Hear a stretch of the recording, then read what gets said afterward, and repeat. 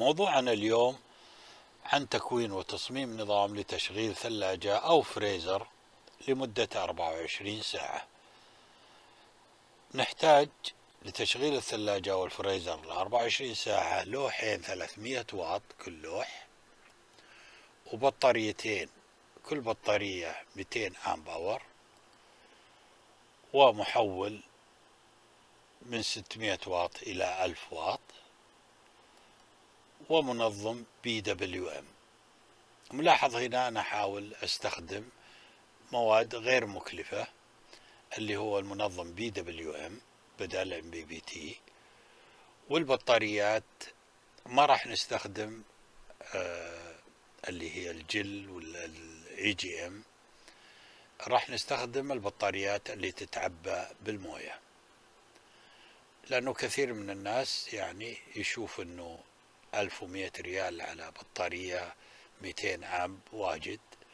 هي الأفضل deep cycle لكن إذا ولا بد بدل استخدام بطاريات الجافة آه، حقت التريلات الأفضل استخدام بطاريات التعبئة بالماء. وهذه إذا اعتنيت فيها وعرفت كيف تعتني فيها بالطريقة الصحيحة راح تعيش معك أربع سنوات وأكثر. أفضل من البطاريات الجافة اللي موجودة بالسوق.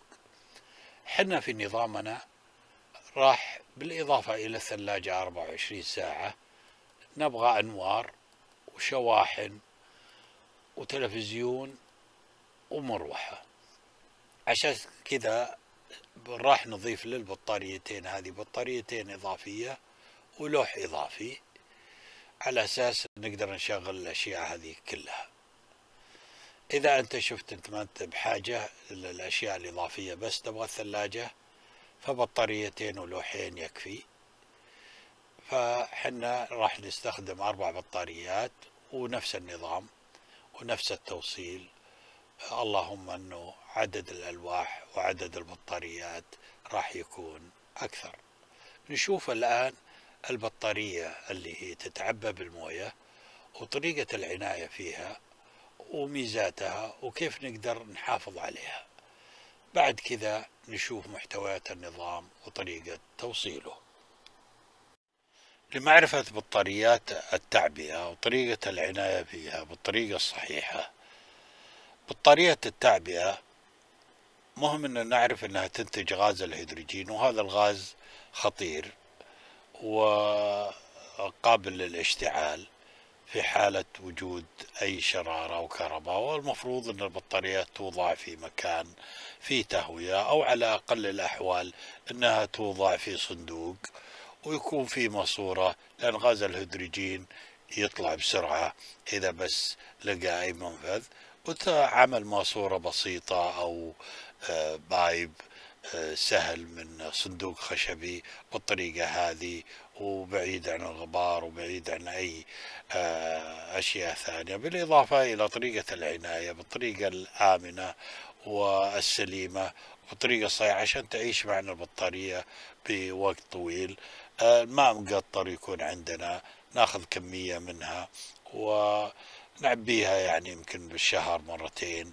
بالإضافة إلى آه، طريقة التعبئة تكون بالطريقة يعني السليمة مع gloves لباس gloves وال tester حق ال acidity بالإضافة إلى تنظيف الأصابع أصابع البطاريات كل الأمور هذه إذا حافظنا عليها راح تعيش البطارية معنا فترة طويلة طويلة وهي أشياء بسيطة وما راح تسويها كل يوم.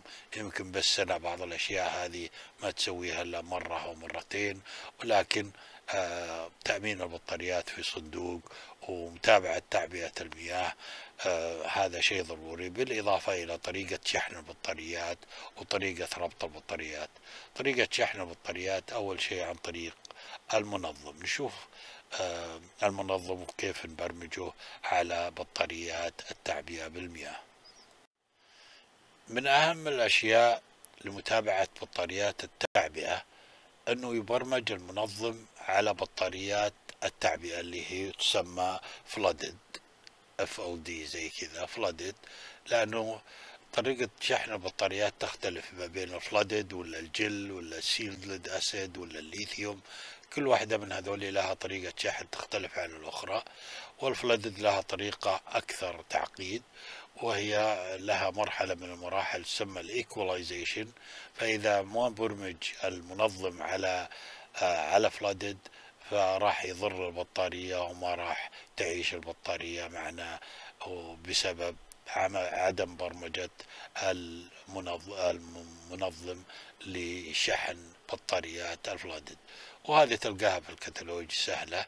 ضروري إنك تبرمج المنظم على فلادد لأنه في مرحلة تسمى ايكولايزيشن اللي هي منع أو الديسلفيشن في البطاريات فهذه من الخطوات الرئيسية للمحافظة على البطاريات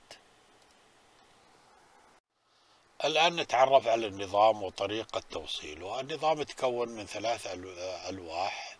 آه، كل لوح 300 واط. منظم 40 أمبير PWM. أربع بطاريات. كل بطارية 200 amp hour inverter محول 1000 واط. طريقة التوصيل راح نوصل البطاريات. أولا كل بطاريتين مع بعض بالتوالي نقسمها إلى مجموعتين سالب إلى موجب سالب إلى موجب مجموعتين. نوصل المجموعة الأولى إلى المجموعة الثانية الآن بالتوازي سالب موجب. كذا تكون عندنا نظام 24 فولت من أربع بطاريات. الألواح نجمع السالب بالتوازي السالب مع بعض اللوح الأول والثاني والثالث والموجب مع بعض اللوح الأول والثاني والثالث. كذا شبكنا الألواح بالتوازي ثلاث ألواح. الآن نوصل البطاريات إلى المنظم السالب والموجب.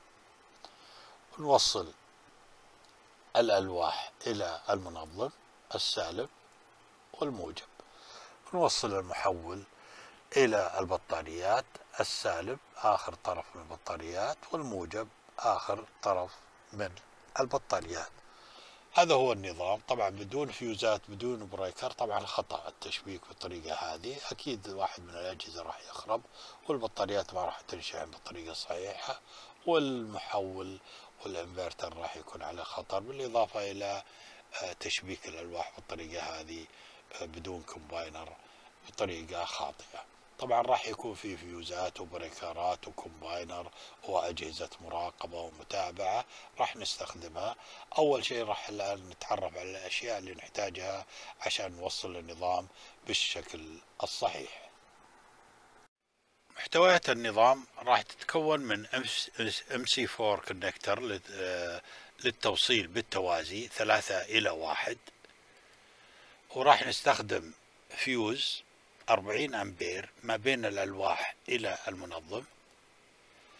وراح نستخدم DC breaker أما النوع هذا أو النوع الثاني هذا مع فيوز ما بين البطاريات إلى المحول.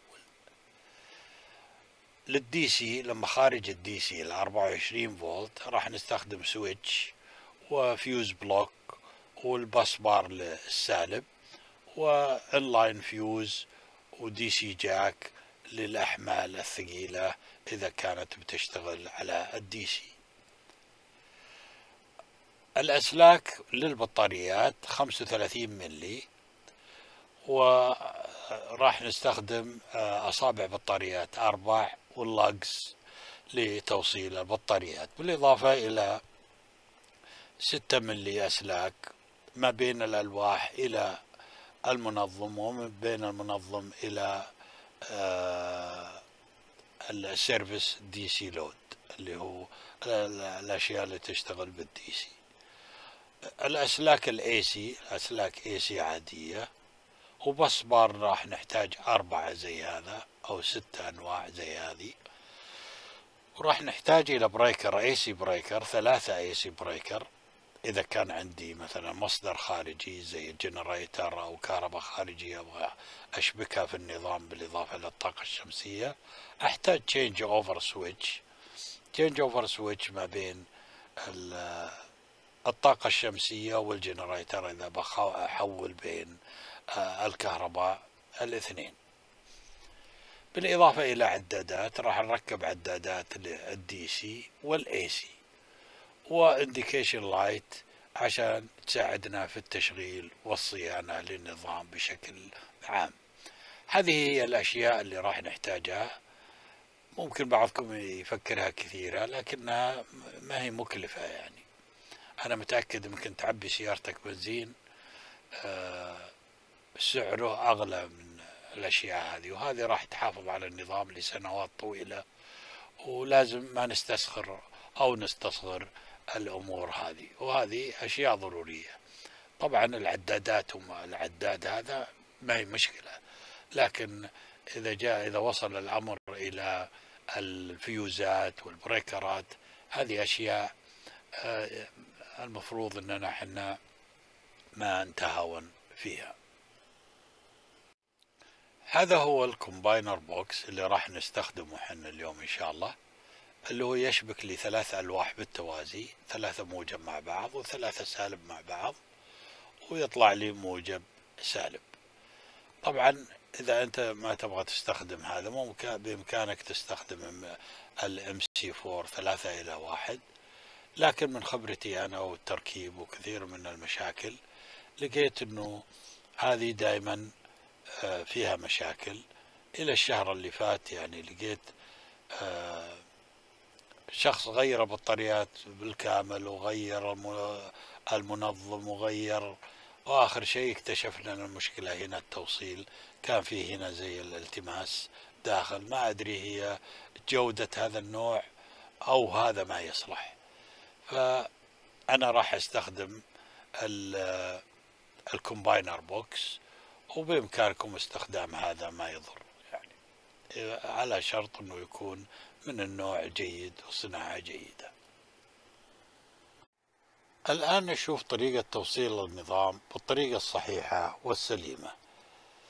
عندنا الألواح وعندنا أربع بطاريات والمنظم والمحول.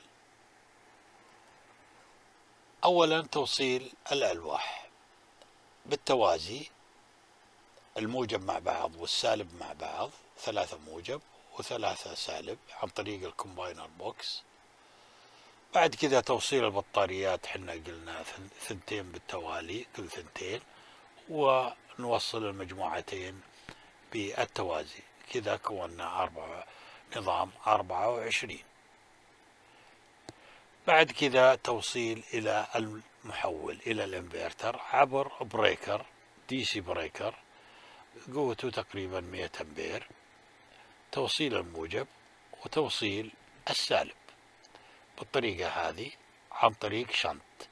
ال shunt هذا نحتاجه عشان ناخذ منه بعض القياسات وأنت غير هذا ال shunt غير مجبر إنك تضع ال shunt إذا تشوف إنك ما, ما له حاجة. لكن ال DC breaker هذا ضروري. بعد كذا توصيل المنظم السالب وراح نوضع busbar وتوصيل الموجب وراح نوضع busbar لناخذ منه بعض الخدمات. بعد كذا توصيل الألواح الموجب عبر فيوز قوة الفيوز 40 أمبير والسالب نوصله إلى ال charge controller المنظم. توصيل الإيرث نضع رود هنا. هذا الرود ونضع اللي هو صيخ. نضعه آه، تقريبا مترين إلى متر ونص بالأرض ونضع بصبار نجمع فيه الإيرث أو التعريض كله من جميع الأجهزة. فأول شيء نوصل الإيرث إلى الصيخ. بالطريقة هذه ونوصل الألواح الإيرث ونوصل المحول كذا النظام جاهز بطريقة سليمة ونقدر نوقف إلى هنا يعني ما في مشكلة. آه، لكن حنا راح نشوف كيف حتى طريقة استخدام الدي سي وال AC مثلا. إذا بنستخدم load DC من من ال charge controller من ال charge controller controller هنا. ال DC راح نطلع بالطريقة هذه. إذا نبغى شاحن جوال أو لمبات DC ومن هنا نبغى ناخذ الأشياء الثقيلة.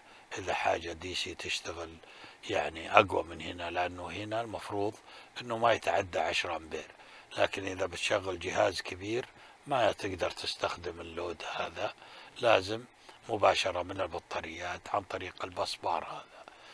الموجب عبر breaker و fuse والسالب إلى jack ثقيل تقدر حتى تشغل من هنا ثلاجة مروحة مكيف صحراوي المفروض من هنا مو من هنا.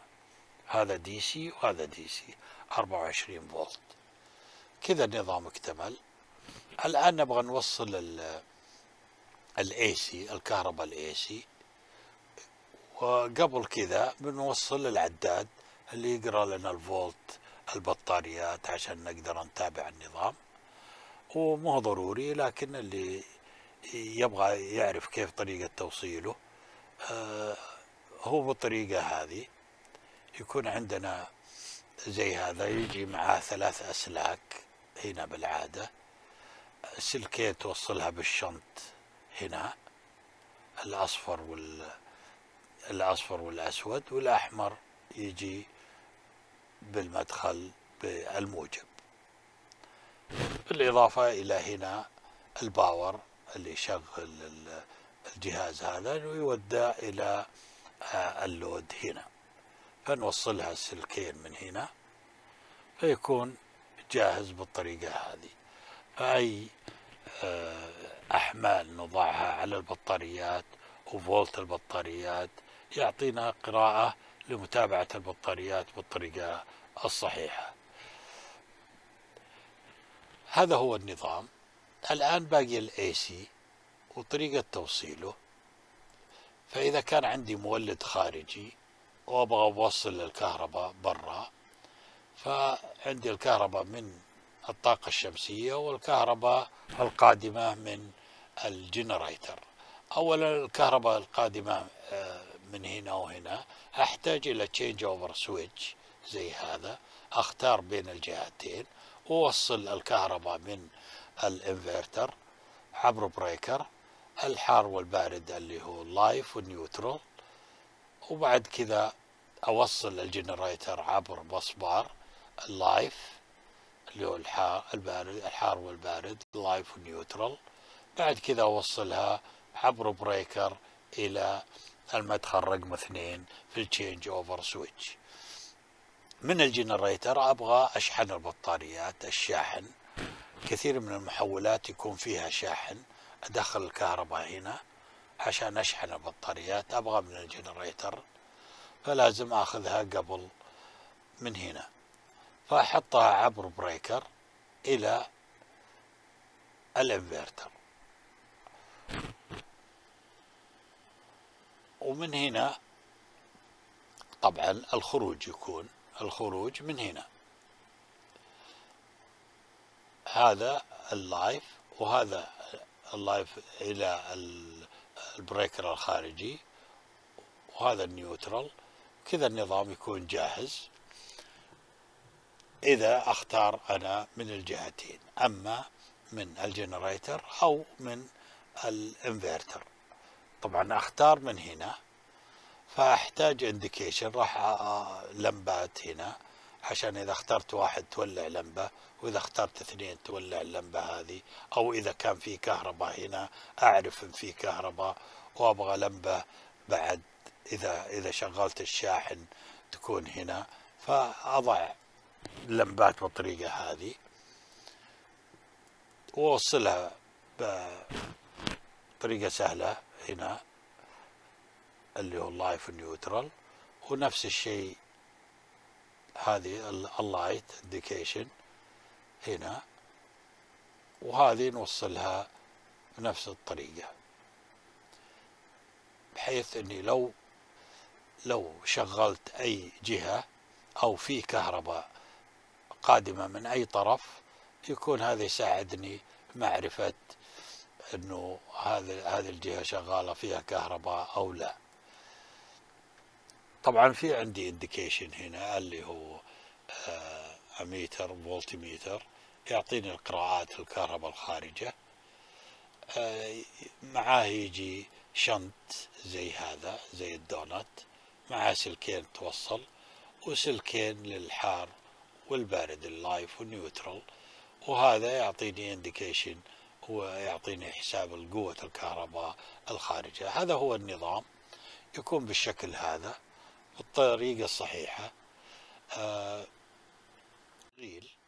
إذا شفنا مثلا الكهرباء القادمة من هنا من الإنفرتر فلو مثلا فتحنا ال switch هذا اللمبة هذه المفروض تولع.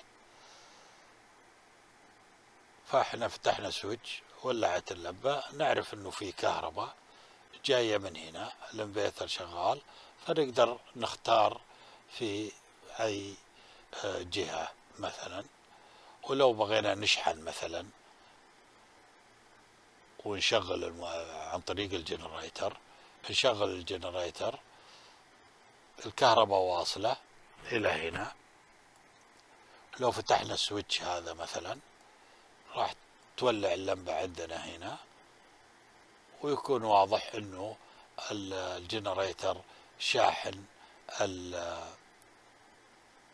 يشحن البطاريات وما في تداخل بالكهرباء وكل شيء معزول وكل شيء شغال ال generator شغال الإنفرتر شغال طاقة شمسية شغالة ما عندي أي مشكلة.